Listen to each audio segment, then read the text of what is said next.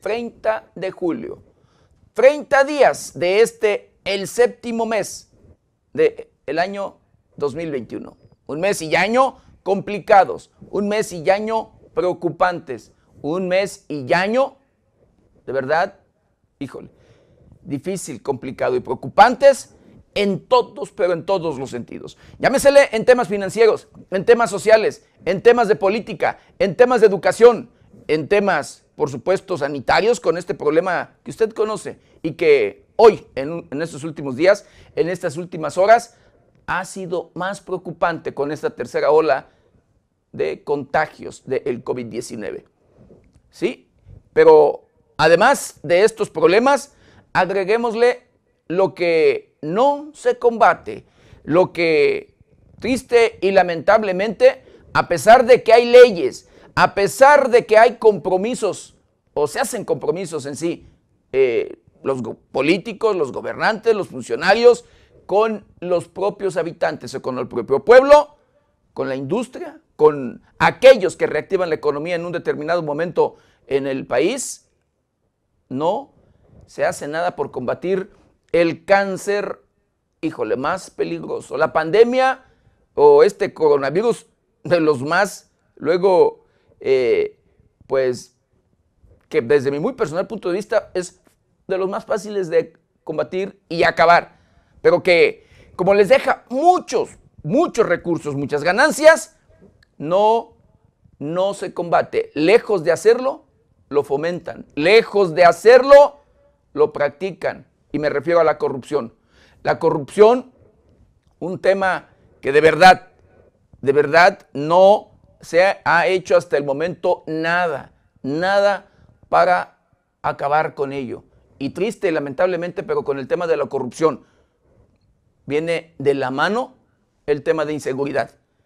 Si no hubiera corrupción, querido auditorio, las autoridades, el gobierno, los funcionarios, por supuesto, el gobierno en, federal, en general, combatirían este tema. No habría los temas de inseguridad, porque al combatirlo, por supuesto que no habría aliados, no habría funcionarios aliados con los propios delincuentes, con los propios criminales, con aquellos que son los que le quitan, los que le roban, le hacen y demás. Los que llevan a cabo las prácticas de extorsión, de secuestro, de homicidios en lo general, estos últimos para sembrar el miedo y terror, porque son, son prácticas que llevan a cabo los grupos delictivos, la delincuencia, y que esta está presente y operando en los diferentes rincones de nuestro país.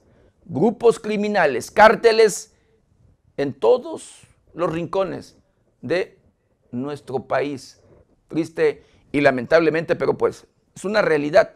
Estoy seguro, querido Victorio, que usted, usted no me deja mentir. Usted conoce, cuando menos, algún amistad familiar o demás que ha sido víctima, víctima de la delincuencia organizada en muchos sentidos.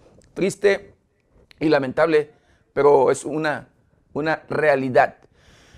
Hablando en particular en el estado, del estado de Michoacán, en el estado de Michoacán operan cuando menos nueve cárteles, nueve grupos criminales, de oriente a poniente, de norte a sur, en los diferentes rincones de la geografía michoacana, nueve cárteles, escuche usted, y nueve cárteles que se han instalado en la administración del actual gobernador Silvano Aureoles Conejo. Cuando él recibe su administración, la recibió entre comillas controlada, porque todavía en esas fechas eh, operaba, operó el eh, Alfredo Castillo con la comisión esta eh, anticonstitucional y demás, pero bueno, la comisión para la seguridad una, valga, un nombramiento que el gobierno federal se sacó de la manga, pero que no tenía ninguna legalidad. No tenía legalidad, pero sin embargo así, así operó Alfredo Castillo en el estado de Michoacán, mejor conocido como el virrey, quien era el que gobernaba, el que decía cómo se hacían y se tenían que hacer las cosas en el estado de Michoacán. Alfredo, Alfredo Castillo, quien vino con este eh, papel de comisionado para la seguridad en el estado de Michoacán a creer o a acabar con el grupo criminal que operaba en la entidad que eran en esos momentos los caballeros templarios. Un grupo criminal, ¿sí? Que por allí era el que tenía ya el control, el control absoluto en el estado de Michoacán y que llevaban a cabo prácticas de todo, de todo tipo, de lo que le acabo de citar, querido, querido auditorio. Cuando recibe Silvano Aureoles Conejo, incluso decían, aseguraban, confirmaba el propio Alfredo Castillo, Eloy Adolfo Peralta, el subsecretario de Seguridad Pública en el estado de Michoacán, mejor conocido como el Yankee, aseguraban que no, que ya no habían grupos criminales operando en el estado de Michoacán. Y recuerdo porque llegamos a discutir en algunas ocasiones con el propio Eloy Adolfo Peralta y el mismo Alfredo Castillo, que ellos aseguraban que ya no había eh, grupos criminales operando y yo les decía que sí porque tenía las pruebas, porque tenía la información, de verdad. Y claro, todo ello tolerado por los mismos, por ellos mismos, querido, querido auditorio. Pero bueno, le repito, un grupo criminal. Pero a la llegada de Silvano Aureoles Conejo, se han instalado y, operan más de nueve cárteles, como usted lo escucha. Tolerado, por supuesto, por el propio titular del Ejecutivo y tolerado por los acuerdos que se hicieron, escuche usted, en tiempos electorales. Dicho por los propios criminales, como se los he comentado en otros espacios informativos, querido auditorio, los propios criminales han señalado, y ahí están los videos, Nicolás Sierra Santana, sí, Nicolás Sierra Santana, el líder de este grupo criminal, los Viagras y de Cárteles Unidos, él dijo haber apoyado en tiempos electorales la campaña de Silvano Aureoles Conejo para gobernador. Y así, como él, otros grupos criminales, otros delincuentes también señalaron. Y es público, y está, está publicado los audios, los videos, donde aseguran eh, el financiamiento que le hicieron a el propio, sí, la campaña del propio Silvano Aureoles Conejo. El tema es que no se hizo y no se ha hecho nada en la administración de Silvano Aureoles Conejo para combatir la delincuencia organizada, para acabar con estos grupos criminales, sino al contrario, pareciera que les dieron una concesión, pareciera que de verdad pues era el acuerdo que operaran para que pues ellos pudieran corresponder en un determinado momento. Y sí, los señalamientos de habitantes de los diferentes lugares es en ese sentido, de que las autoridades, que el propio gobierno, porque los han visto por allí luego eh, circular, ver, reunirse, eh, que son aliados. El gobierno aliado con los propios criminales. Y así, por supuesto, no es como se acaba ese combate, pues, estos, a estos grupos, de verdad. Las prácticas que llevan a cabo de la extorsión, de, los secuestros, homicidios y demás, continuarán y allí se ve, de verdad.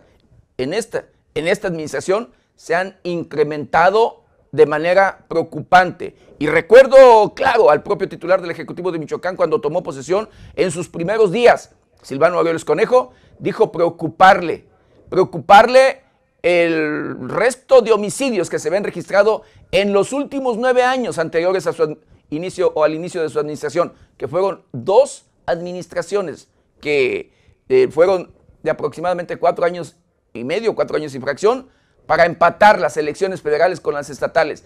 Dos administraciones. Los homicidios que se registraron en ese entonces, pues fueron preocupantes y él dijo que acabaría con ese tema, que resolvería el problema de la inseguridad, de los homicidios, de la violencia eh, de género, eh, la violencia en contra de la mujer.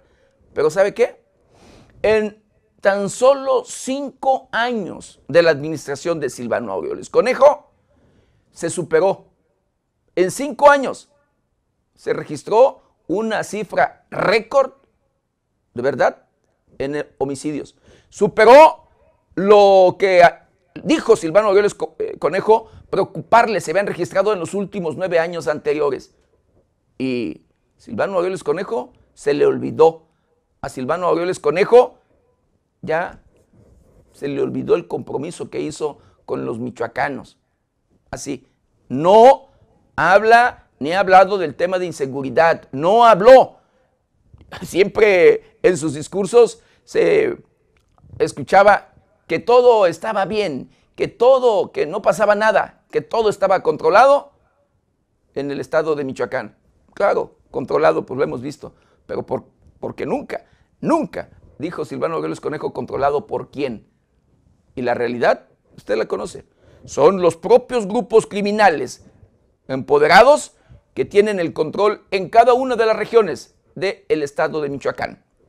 Los diferentes grupos criminales que incluso de manera constante agreden a las Fuerzas Armadas, que no permiten el libre tránsito en los diferentes lugares, en el caso particular de Aguililla, quienes condicionan incluso a los propios, escuche usted, al propio ejército, a, las propias a las propias policías, para poder transitar por el lugar donde ellos tienen el control, donde ellos tienen sus barricadas así como usted lo escucha.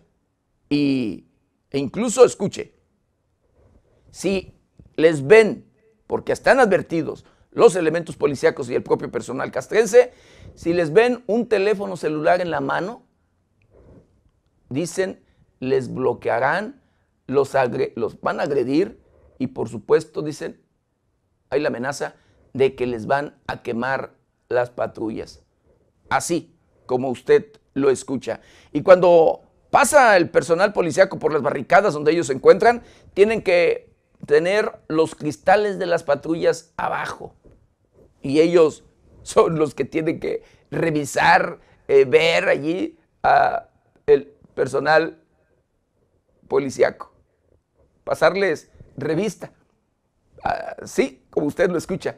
Hacerles una, una revisión. Los criminales revisando a las autoridades, los delincuentes poniendo las condiciones. Y esto así es, y esto es cierto, y se lo digo con conocimiento de causa.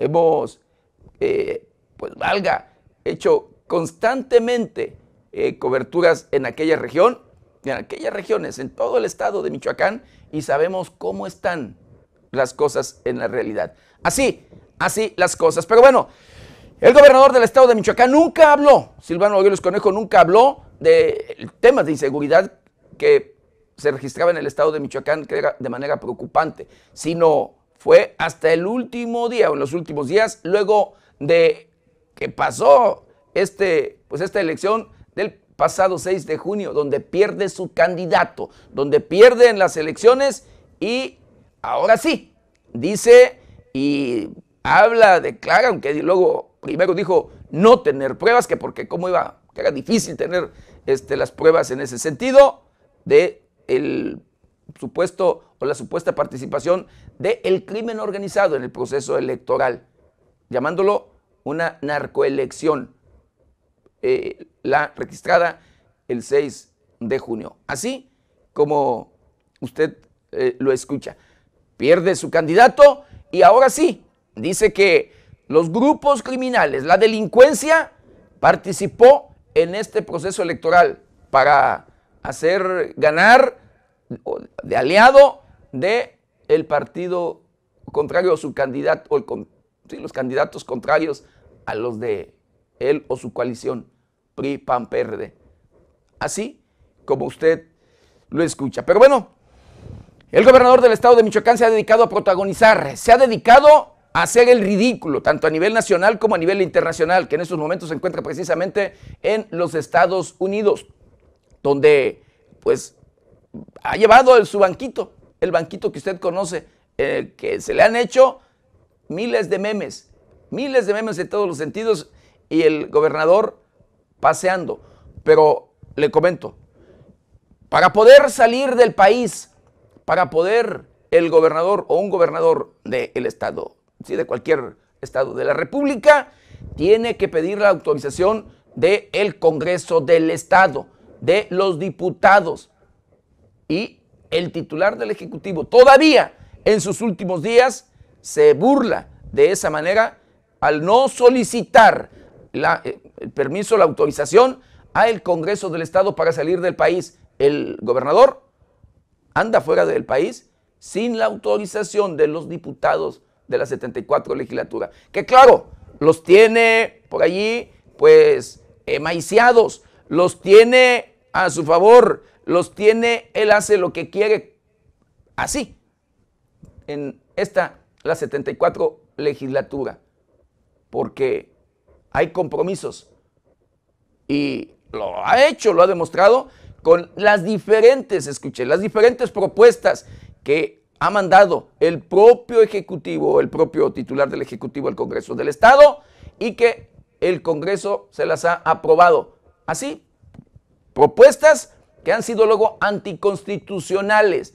porque en esta legislatura han tenido que derogar cuando menos siete, siete propuestas que mandó el Ejecutivo a esta, la 74 legislatura, y que fueron pagadas, por supuesto, a los diputados, porque cada propuesta tenía su costo, cada propuesta eran millones de pesos los que tenían que pagar a los diferentes diputados. Y, por supuesto, a la hora que él ha querido, ah, pues hace lo que quiere, que los propios diputados tienen que cumplir. En este caso nada más falta que ahora que llegue diga sí se hizo la solicitud y que aparezca por allí una solicitud, eh, por supuesto, con fecha retroactiva y punto, solucionado. Así se prestan incluso los diputados. En estos momentos, ya que hemos buscado, le puedo confirmar, asegurarle, le repito, que no no hay una solicitud para salir del extranjero el gobernador del estado de Michoacán. Así como usted lo escucha. Pero claro, también la ley le permite, también la ley allí eh, pues es flexible en ese sentido porque él a su regreso tiene ciertos días para poder aclarar, para poder informar a el propio al propio Congreso del Estado de Michoacán sobre su gira. Que escuche usted, las giras deben de ser autorizadas única y exclusivamente cuando son para ver temas que tienen que ver con el gobierno de Michoacán. Temas en un determinado momento para atraer inversión, para buscar mejoras en las condiciones de vida de los propios michoacanos, para mejorar las políticas o relaciones con el extranjero en muchos sentidos, hablando, por ejemplo, de promoción del estado de Michoacán, que no es lo que anda haciendo el gobernador del estado de Michoacán. El gobernador está viendo por intereses personales y políticos e intereses de partido y de candidato en este pasado proceso electoral, que nada, nada tienen que ver con el gobierno, nada tienen que ver con las políticas, las políticas del propio gobierno del estado de Michoacán. Así que no sé cómo vaya a resolver este tema en esta la 74 legislatura, digo, para aclarar a los michoacanos, porque para con los diputados, por supuesto que le puedo decir así, anticipar, asegurar que ya está resuelto, que ya ellos tienen y saben cómo van a manejar el tema, así exista pues un grupo o pocos o algunos diputados que pues no estén de acuerdo y no aprueben el, eh, pues este tema, mayoritean, mayoritean allí en el Congreso con la forma y práctica del propio titular del Ejecutivo que ha llevado a cabo en esta legislatura de maiciar a los diferentes diputados de oposición, que usted los conoce y sabe por allí, verde ecologista, del PRI, del PAN, del, y pues, por supuesto los propios de su partido PRD, entre otros, Movimiento Ciudadano, que incluso Usted recordará, le informamos en su momento, el propio diputado eh, Javier Paredes, eh, pues fíjese, primero, él es un político de apenas la legislatura pasada que comenzó y llegó a ser diputado. Y vendía hamburguesas, un trabajo honorable y nuestro reconocimiento y una felicitación. Saludo muy especial, por supuesto, a todos aquellos que pues venden comida, comida rápida y demás, hamburguesas, nuestros respetos. Pero ellos me sabrán decir si de hamburguesas sale para tener almacenados en su casa millones de pesos, millones de pesos, que fue fueron los que le robaron de su casa en una ocasión que se fue, por supuesto ya como diputado, de vacaciones.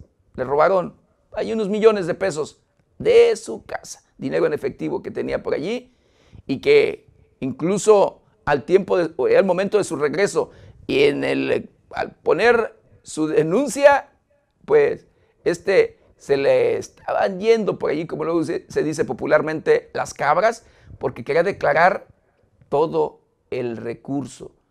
Pero como le ayudaron, le estuvieron apoyando y le recomendaron, le dijeron que no podía declarar todo, porque ¿cómo iba a comprobar? ¿Cómo iba a comprobar pues ese recurso en sí?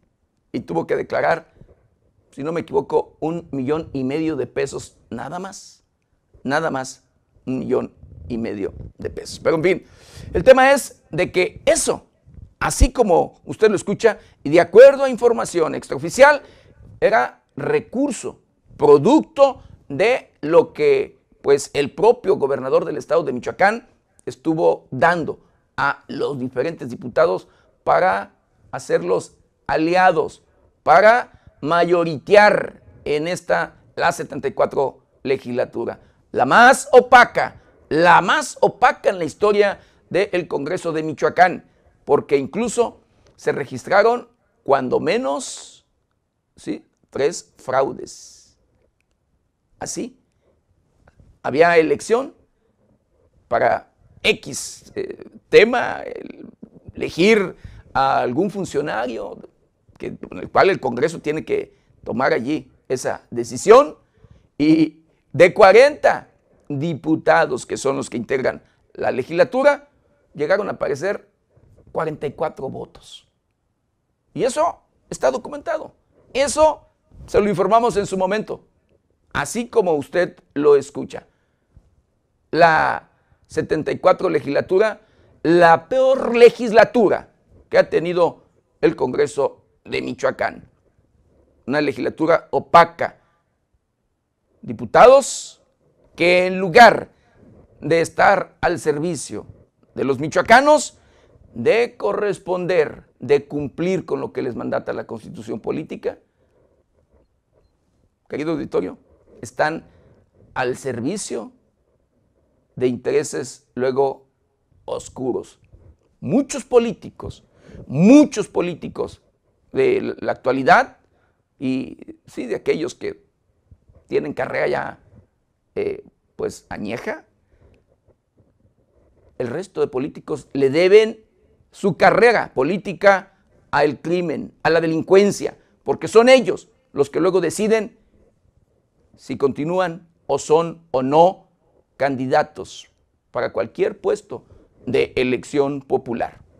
Así, así las cosas triste y lamentablemente en el estado de Michoacán, un estado que se está cayendo a pedazos, un estado en el que de verdad se registran hechos de inseguridad de manera constante, donde los grupos criminales dan muestras de músculo en cada uno de los rincones del estado, de la geografía michoacana. Triste y lamentablemente, en estos últimos días le hemos dado a conocer, le hemos informado de los múltiples homicidios que se han registrado en algunos municipios.